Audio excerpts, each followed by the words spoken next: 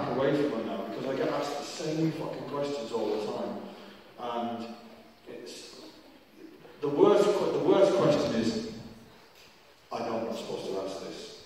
Like, why are you fucking asking me? and then it's like you know, the inevitable question. Um, and to answer the question, I haven't got a fucking clue. And never have. Do you think, um, hey? Think he's a journalist.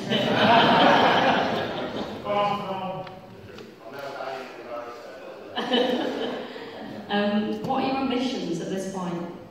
In life, uh, still trying to write the greatest song of all time. I know that sounds pretentious, but that's kind of what keeps me doing it. Um, if somebody somebody will say, "Oh, you've already written that," but if, if, if I ever felt that I'd done everything that I was capable of, I wouldn't do it. I, I, mean, thank God I've got no other interests in life than music. I can't drive, I don't run holiday, I fucking don't collect shit.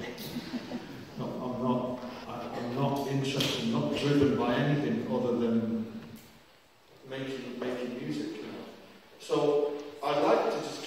doing it and keep having the enthusiasm to do it. Still trying to write that fucking song, you know. But um, that dude, that got to a Champions League final.